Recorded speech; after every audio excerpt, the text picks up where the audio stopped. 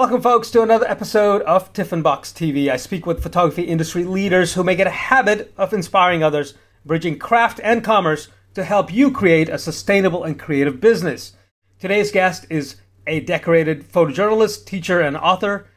Steve Raymer is a former National Geographic photographer and is prolific now as a as a photography book producer. I, is that is that the good way to describe you, Steve? I, I guess uh, the uh, the author because you're uh, not you're, you're nonstop of, with books now.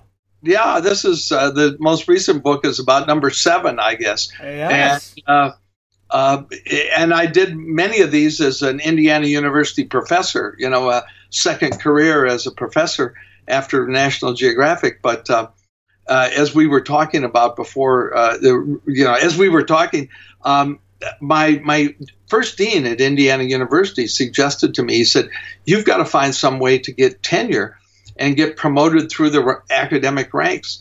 And he said, "My advice to you. His name is Trevor Brown. He's retired now, but he's a giant in the field of journalism education." Uh, Trevor Brown said to me, "Steve." Keep doing what you did at National Geographic because many of those National Geographic assignments took you a year or more to photograph uh, and report and but instead of chasing magazine articles, uh, which would be a bad thing at the age of 50, um, turn these this long form reportage into books. And so, as a professor outside of the classroom, um, I have been lucky to have been at a for 21 years at, until I retired uh, at a major research university that counted creative work at a certain international level uh, as equivalent to research. So I did books about the Muslim world of Asia and about the global Indian diaspora, about Calcutta, uh, about Vietnam as a country today that's at peace with itself for the most part and, and with its neighbors and is prospering in many ways. Um, uh, and gee, you know, I, I've got a book going right now about the endangered and disappearing pubs of Great Britain, which is kind of a nice change of pace after, uh, say, Calcutta uh, or Kolkata, which was probably the biggest professional challenge of my career to deal with that poverty that you see on the streets and then go beyond that to see what is what what's India's intellectual uh, capital like today. And so, you, you know, that's a long winded answer of saying, yes, the author of photographic books um, is kind of one of my stock and trade jobs these days in and Seshu. Well, that's great. You know, one of the things that uh, I remember uh, you uh, telling me uh, when I was a student of yours uh, and I and we go way way back years ago. Yes. I know. I think you were just starting out at Indiana University by that exactly. uh, by, by that time. Uh, so this is a good twenty years ago. This yeah. was 20 years ago. Yeah. I was there from 19, 1995 until 2000, the end of 2016. So right. it was a real second career. Uh, indeed, indeed. And uh, I remember the two of us either you had a Leica or I had a Leica. I think you had a Leica uh, M series camera, uh, which uh, in a lot of ways is still there's great virtue in the rangefinder camera and its inconspicuousness and kind of the need to find the perfectly composed decisive moment that we talked about sure. so much in class you know? Yeah.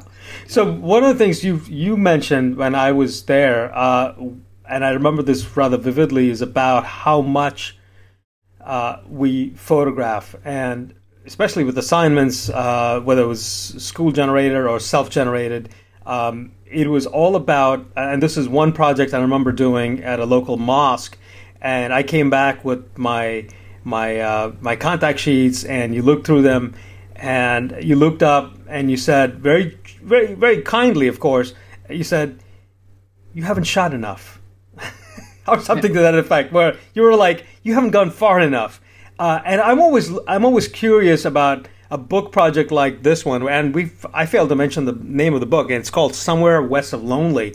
Um, yes, I I've got a copy. There you go. That's it right there. there. It's it's uh, a visual a visual memoir with sixty five thousand words of text. Right. Um, but uh, somewhere west of Lonely, the um, actually I owe that credit to a a, great pal who was best man at our wedding. He's since deceased, but when we were uh, working on a documentary or a long uh, reporting project on the construction of the Alaska pipeline, we flew out to Western Alaska in a helicopter, or at least that was our intention, to talk with the Alaskan Native people about uh, the coming of big oil and big money and how the, how their lives were going to be impacted. And somewhere west of Lonely, we Lonely is a place on the map. You can find it. It's got a zip code. It's a ballistic missile early warning uh, site run by the U.S. Air Force. But somewhere west of Lonely, we ran into a terrible whiteout storm where we were just enveloped in um, in this uh, in snow and ice and so forth, and turned around and we couldn't land at Lonely because it was too dangerous, and we sort of outran the storm. But I think it's the title is a pretty good metaphor for many of us who've spent a lot our careers as magazine photographers um, out in the field, uh, separated from the office and our loved ones, uh, and on a very sort of until the advent of the mobile phone on a very thin and tenuous cord, um, uh, and really having to operate independently and and depend upon your understanding of the story and the initiative. But you know, we were talking before we uh, started recording about the importance of words, and um, my background is sort of uh, as a writer as well as a photographer, and I think that the more we can verbalize or the more we can um, express what it is we're trying to do and why this is important and you know kind of get the who what why where when and how and understand the story in a verbal context the better our pictures are going to be and when you mention your contact sheet from the local mosque here in bloomington um, you know we just have to force ourselves to get into the story and find and dig deeper and find out Right. Well, what's the meaning here? What what is this place all about? And as you know, and and we hope that our audience will um, be inspired by this maybe a little bit that that um, you know once over lightly uh, doesn't work. Just because you've got a few good pictures, um, it doesn't mean that you have gone to the heart of the story. And so let, let me ask you this: How do you know after being in the geographic, after teaching at IU, that you are in the heart of the story? Like, what is it that indicates to you or gives you that little, you know, is it, is it a red flag that pops up that says, no, yeah, I'm here? Seshu, uh, it's panic. It's panic. okay. and, and, and, you know, very, I don't know how many photographers or photojournalists admit to panic, but you know, it's when you've worked so hard right. and you wonder what else is there to do? What can I do to make this come alive? And sometimes, Seshu, I have found that that panic mode where you is, is, uh, uh, uh it really can propel your creative juices. Sometimes it's to feel like, well, I'm done. Uh, at other times, and I can think of an example in Bangkok, Thailand, where I was doing a whole story on uh, the country of Thailand, and I got a in the days of fax or telegrams. I guess it was a fax from my picture editor saying, "We sh- I showed your pictures to all the higher ups, and everybody loved your coverage of Thailand, and you're done. Um, come on home." And uh, I had to wait a day or two to get a plane ticket home. And I got up early in the morning and went to a local uh, Buddhist uh, temple. And here was a young couple with their little MG, and they were feeding the monks as the monks would come to mm-hmm. receive their alms. And when the pressure was off, and I thought I was done, and I, this has happened so many times in my career when the pressure was off and I thought I was done and just enjoying making pictures, bam, there was the lead picture for the story. It was still in my camera when I got and I got back to Washington. I thought I better get this roll of film developed. And here was the lead picture, the first picture, the double page uh, in the story. So, so, to some extent, it's the panic mode when you think, now I've really got to focus here. What else is there to do? Sometimes it's when you relax and say, you know, I think I've done everything that's on my list. And, um, you know, you just, you know, look around and, um, and there and use your visual kind of skills. Um, and enjoy uh, seeing. I think that's a kind of a, a, unusual concept for those of us who go out and have to be a professional seer. Um, when we can just enjoy it, sometimes we're a little more per- perceptive. Well, that you know that's a wonderful explanation as to how to sort of sense that you're there, and I yeah. think uh, uh, it, that comes from experience. Obviously, it's it, you know the first time you go out there, you're liable to miss things, and you're probably going to come back saying, "Oh, I got it," but you may not have really truly got it. So you got to go back out again and again and again until you just sort of. Uh, it's like a it's like a muscle. You got to keep exercising almost, it, right? It's, it's true, and and of course, as magazine photographers, or as today uh, doing long any kind of long form reporting, um, whether it's for a newspaper or magazine or website, where we have the luxury, unlike a newspaper photographer, we have the luxury of going back again to try to get some get a better image.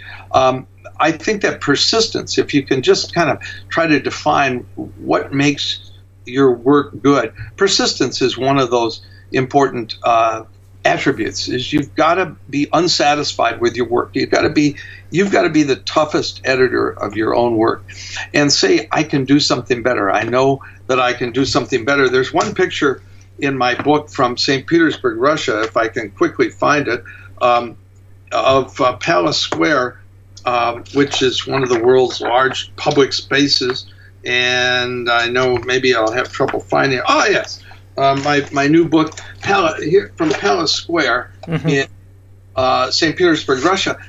Uh, now I was doing a book and a magazine article at the same time on St. Petersburg, so this is not like a newspaper photographer having to produce something for tomorrow morning's website or something. I went back 42 times to Palace Square through the summer when the light was really pretty awful. And remember that light is our single most important storytelling element. But in the late autumn, I just wandered over there one night and I was, uh, you know, there was this really beautiful uh, and, and pretty strong autumn light coming out of the Baltic Sea. And then standing there with my Leica and 21 millimeter lens, and I'll never forget this, come two horseback riders clip clopping through the frame, and it looked like the 18th or 19th century, and Tsar Peter the Great was probably just around the corner, and bam, you know, um, anybody could have taken the picture because the light and the composition was just right. But yeah, so I guess that idea of not being quite satisfied with your work, or maybe never being satisfied with your work, it's okay to be your your toughest critic. Uh, let's talk a little bit about uh, process. I think one of the things that uh, uh, maybe a bit of a mystery for a lot of photographers who are either starting out or have been doing this for a while, but have looked at National Geographic magazine and uh, just the the the breadth and depth of uh, photographs in there that just sort of suggest that obviously you know you've spent a lot of time with your subjects, uh, they've gotten to know you, you've gotten to know them, uh, and access is not an issue anymore.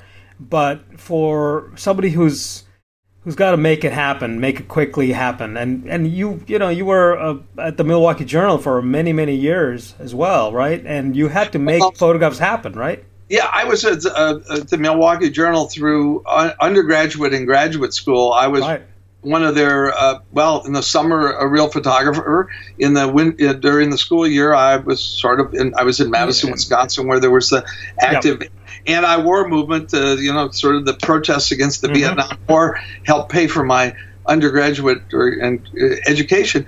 Um, you do need that quick eye to yeah. uh, s- to say this is worth my time. You need that eye to be eva- to evaluate that there's something here that's really visually interesting and compelling. And you you know you need to, as we've talked many times in, when you were a student, you need to sort, see the picture in your mind's eye. The camera is simply the tool to right. capture. But you know you need to kind of see that picture right there and say there's a there is something worth doing. Um, and and I'm not sure today access is is more difficult. I think because people are more suspicious of us, either internationally or certainly at home here in the United States. People are more suspicious of why are you photographing. Um, but yeah, um, I forget your original question. Well, I, I didn't quite ask it because uh, I guess I was formulating is that the idea is that you know even the cover photograph of your book, uh, there's that intimacy, there's that you know the the sense that the person you're photographing has allowed you to be in their space. Uh, my question to you is, how do you get there? How do you get to that point where they're comfortable with you and you're so comfortable with them that you can step up to them uh, within a foot's distance and make a portrait that just you know sings uh, well it's a hard thing to define and a hard thing to teach the idea of intimacy but i think the more that you can uh, step into someone else's shoes and ah. uh, for, understand, for example, that uh, little boy or boy, uh, young man on the cover of my book. Mm-hmm. He and I couldn't communicate. He spoke a, a, a, local language of nomadic reindeer herders, but uh, you know, to to go, to go up and say it's cold.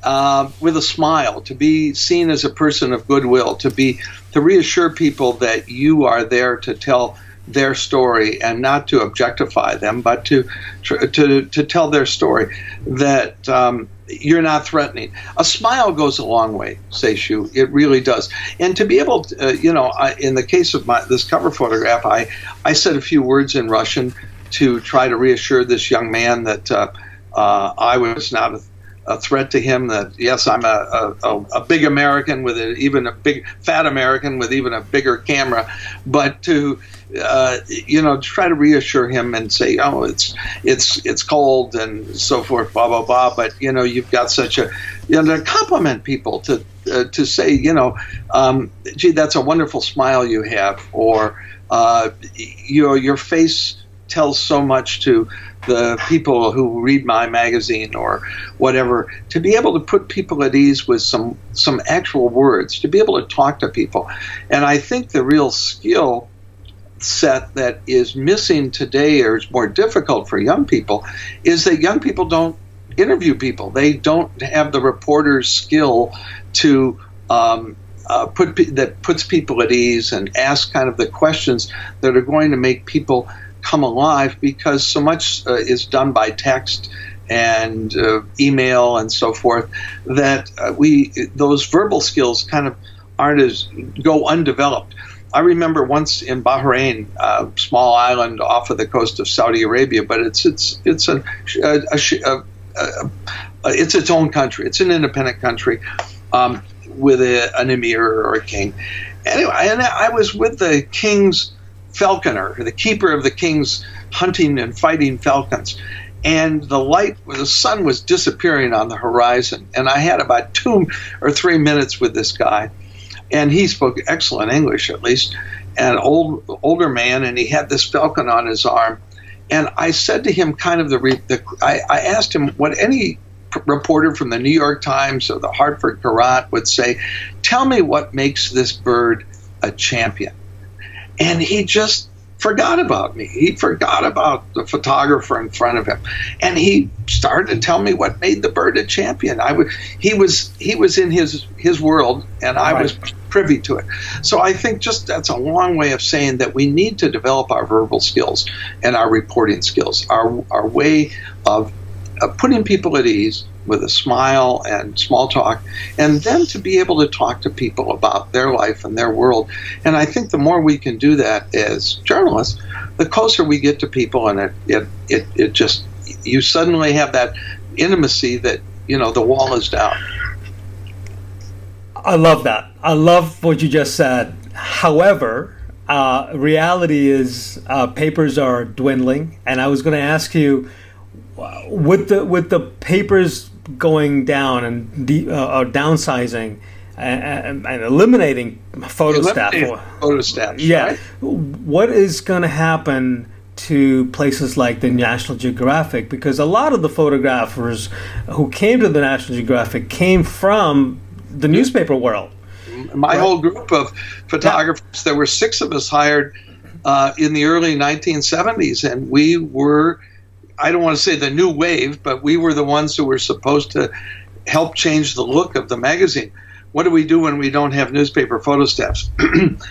um, you know, there's no easy answer to this, Seshu. Um, I think that for young people, it's a you know young people have to know that they need to develop entrepreneurial skills to be able to do a, and a variety of kinds of pictures to be able to do journalism, to be able to do corporate portraits, to be able to do food, fashion, to be able to do things locally and nationally. Um, and they need their entrepreneurial skills to get the word out. You know, the, your website is your business card, it's your central marketing device uh, today.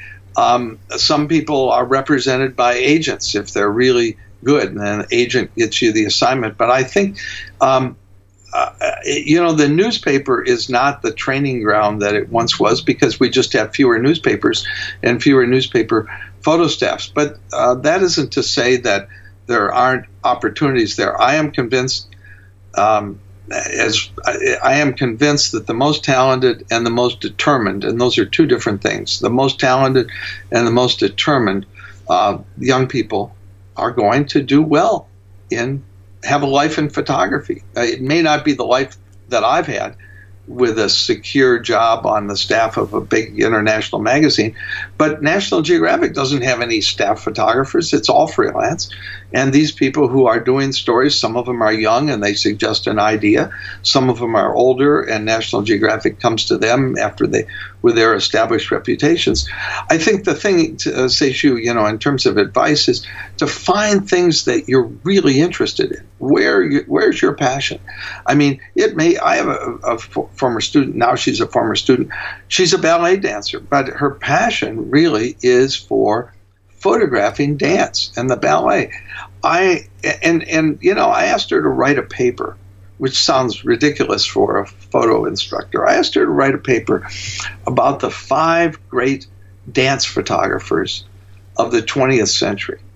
First of all, she had to round up five names and see what she could find. But in the end, she agreed that learning about people who've gone ahead of you makes a huge difference yep. in how quickly you find your own voice and what's special about the way you see the world. You've just got to find that passion for what it is you've got to, you want to photograph. I have former students who make a wonderful living doing weddings. Now they're kind of weddings in the genre of photojournalism or documentary photography, but they're doing very, very well. And um, it's allowed also them to raise families. I think it's it's finding that passion. If you don't have the passion, the camera isn't going to save you. There you go. I love it. Love that advice.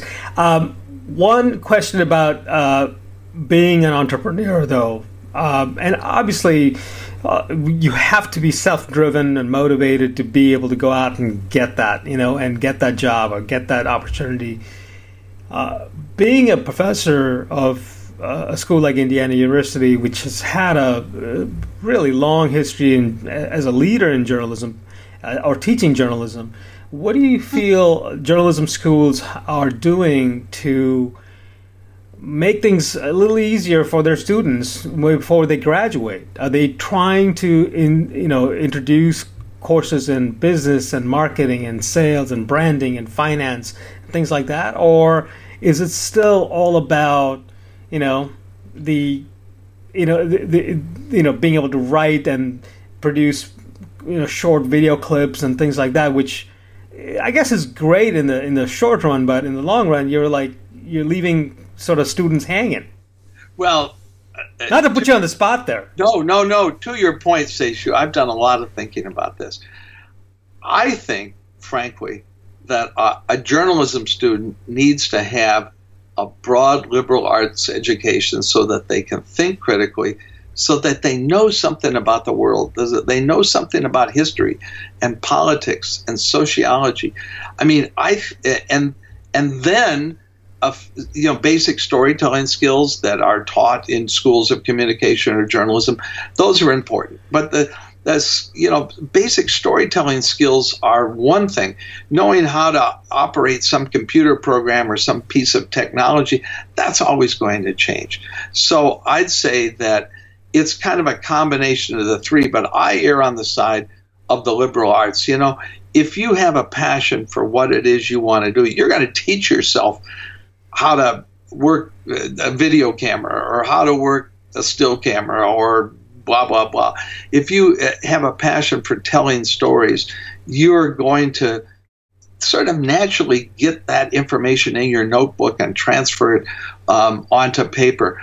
Um, I, I do think that we really fail on the entrepreneurial side, and if um, uh, in in this day and age when higher education is in such flux, uh, we've got a, a, a, trend toward more vocational education because parents want their kids to have a job when they graduate. So in in some ways they want more skills. Um, I, I want more liberal arts. I want more students who know what's going on in the world, more students who care about something, because I know in the end, the student who's going to get the job is the student who walks into someone's office with a personal project that shows where their mind is, where their passions are, where their instincts for an important story are. I know that personal project is going to get a student a job because it defines who they are, where, where their concerns are. Now, I think where we fall down in journalism education is the whole entrepreneurial side. How do you make money? How do you brand yourself? How do you define yourself? We really don't talk about this. We sort of assume that people are going to go out and get a job, and and it's not. That's not the way it happens uh, anymore. So I think we really fall down on the entrepreneurial side. We also, I think, fall down in saying, well, if we t- teach so many skills, you're fine.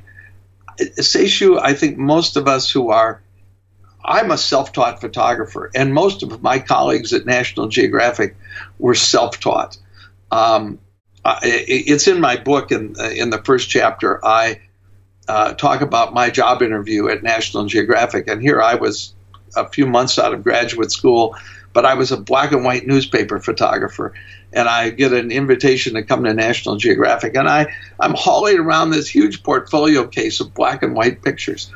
And at the end of the day, I'm sitting across from Bob Gilka, the director of photography, who was known to be gruff and a man of few words. And outside his office was a a sign that said, "Please wipe knees before entering," and uh, that just sort of set the tone for going in his office.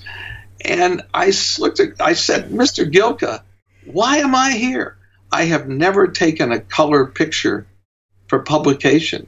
And he looked across those glasses and he said, It doesn't make a goddamn bit of difference. We can make the picture any damn color we want.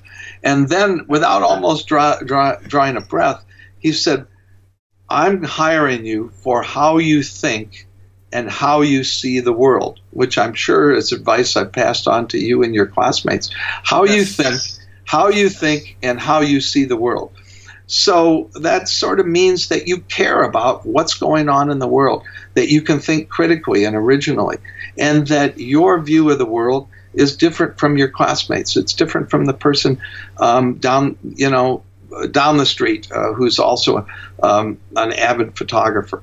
Um, that's, I, I think there's, you know, it's such a simple key is to differentiate yourself. But, and this was taught in business school, but I wish it was taught more in the liberal arts and the humanities. Steve, uh, let's talk a little bit about the book, uh, which was sort of the initial premise of meeting up online. The book. The book, yes. the book. Um, it, it, and your dogs are telling you that they need to go out, I guess. Um, tell tell us a little bit more about perhaps what challenged you most about producing this book. Well, Seshu, I, I had uh, it was a pretty simple thing.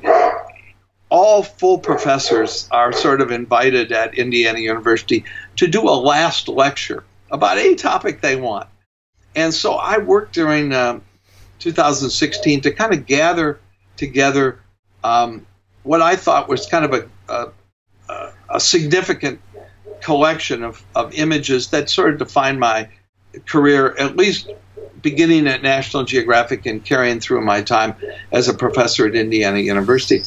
And so I gave in um, uh, April of 2016, I gave my last lecture, and uh, I did a fair amount of research to try to not to recite old war stories, but to try to have a few themes. Um, ethics, uh, covering conflict, who the importance of mentors, um, etc., and to uh, also make sure that I understood in a contemporary context um, what's going on today in some of these areas that I photographed 20 or 30 or even 40 years ago.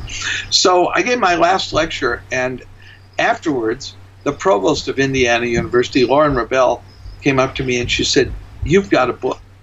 And uh, so I went over the, the following week. I went to the director of Indiana University Press, and I I had brought, I brought with him my lecture notes, sort of turned around into chapter outlines with six chapters. And I said, okay, here, here's my chapter outline, and here are my pictures on a thumb drive. And it, the idea is pulling together a career that lasts 45 or 50 years with some lessons that were learned the hard way that might be of value to students. Mm-hmm. Um, some explanation of how it is we do visual journalism mm-hmm. that might give interest to an even broader audience. Some some good pictures, and also I think a pretty substantial discussion of visual of ethics where, because it's something I teach, um, and not just visual ethics but decision making, and uh, with with examples. And so actually the whole thing I pulled together, Seshu, and and from the time we decided to do the book until the t- until we had the book in our hands was only about 18 months. Oh, it wow. was the fastest book I've ever done in my life. And uh, there was a lot of give and take on the individual pictures. And I had to go back to National Geographic and get things rescanned and so forth. Um, but uh, there was also in the back of my mind an effort, Seshu, to get in there in the book as many unpublished pictures that had never seen the light of day as possible because I think there was certainly a time at National Geographic and even in more recently in doing books um, for various publishers since I've been a professor where I was certainly National Geographic was more content driven. It was what was in the picture rather than how the picture was constructed visually. And and I gotta say, say, she one of my big failings or faults, uh, because I'm a journalist, is that I still kind of, I, I content makes a, is a big deal with me. Sure. Um, and uh, so this was an opportunity to say, content is important, but let's look for good pictures or pictures that are really going to make people stop and say, wow, that's visually arresting. And to some extent, I, I, went back to National Geographic several times and worked with the archivist. And we actually pulled out these old fashioned yellow boxes uh, that came from Kodak that contained 36 color slides in the box. And I was able to find pictures that I remembered but had never been published before. And uh, I'm trying to think there's one particular image. Somebody asked me to sign uh, my favorite image in the book, and it is a mother. See if I can get this. It's a mother uh, at a uh, in Bangladesh during a horrible famine with her three children, and there's a tear in her eye. And it never made it into National Geographic, but I always remembered the picture. I remember taking it um, with the Leica and the 28 or 21 millimeter lens, and I remember that tear in her eye. The funny thing is, is and so I found the picture. The interesting thing is when National Geographic made a 100 megabyte drum scan for me, there was a third child there that I had never seen when I photographed it. And when I looked at the color slide in recent times and asked to have it scanned, the child was so down, deep in the sh- shadows of this piece of Kodachrome that I didn't see it, but when it was scanned, clearly there was this third kid. So the old and the new, right? Um, uh, the new the new technology made that picture uh, slightly different than what the way we had seen it in 1975 or 74 wow. when that was going in the magazine. But the idea of, of trying to find some pictures that were arresting to the eye and that we could say, wow, that's a good picture, uh, as opposed to having to tell a story that was driven by content. So that was also part of the equation. Uh, Steve, this has been uh, truly electrifying. I love I love chatting with you, and I miss our chats from from way back when. Too. I miss uh, I, I, there's so much more that needs to be said, asked, uh, maybe drawn out of you that I wish we had the time. But uh, thank you so much for doing this. The book is called Somewhere West of Lonely, and uh, if you're a photographer, if you're a photojournalist, if you are a visual person who needs uh, that just right kick in the pants, and Steve is the right guy to do that for you, by the way. Uh, you, this book, this book is really something you need to have in your on your bookshelves to return to again and again to be able to see the pictures, which are gorgeous. We just talked about how special these photographs are, but do yourself a favor, and this is a mistake that I'd made when I first received the book, is that I went right to the photographs. I mean, obviously, as a photographer, I'm like, oh, let's check out the photographs, but honestly, it's the writing, it's the stories, it's the the background, it's the history of uh, of of Steve's life that makes all the difference. Because as Steve already has mentioned, knowing your your your history is so critically important for your own benefit. I mean, you are going to be a better photographer just knowing the giants that have preceded you. You know, and Steve is a giant in the field. Uh, clearly, uh, I am so honored. I'm so honored to have known you, Steve, for so many years now. Uh, great to have continued to be in touch with you. Um, thank you. I mean, that's all I can say is really thank you for, for what you've done for me. You, you've, you've touched me, Seshu. Thank you. Thank you very much. Okay. Indeed, indeed. You're welcome, we'll, sir. Bye. Thank you. Take care, Steve. Bye bye. Take care. Bye, Seshu.